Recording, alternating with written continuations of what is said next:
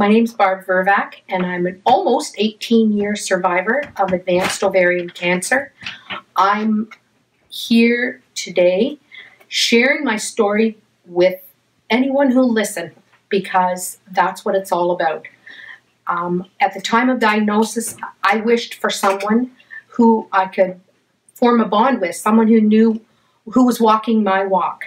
And so now, all these years later, when I have the opportunity to share with some other woman and say, I know where you're going, I know what this is like and the ups and the downs, that's why I do it now. That's why I tell my story. That's why I talk to people.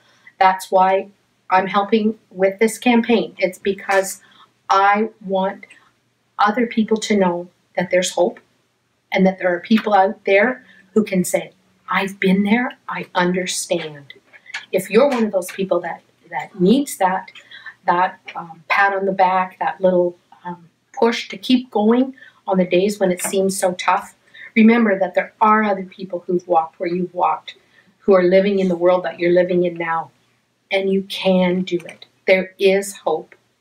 Share your your time, share your resources, and get involved with Ovarian Cancer Canada, and especially at this holiday season with their campaign of hope.